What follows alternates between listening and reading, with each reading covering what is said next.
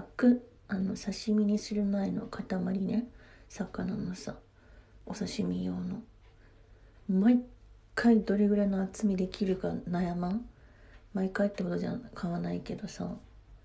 薄くするとさなんかさシュパって思うし醤油つけたら。かといってすごい分厚いのもなんかすごいこういけないよねっていう気がしちゃうんだけど。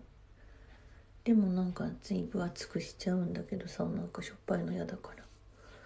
難しいよね。だから漬けとかにするんだったら分厚い方がいいんだけどさ悩むよね。というわけで今ちょっと柵をこの後切ろうと思ったからさどうすっかなーって悩んでんだけど。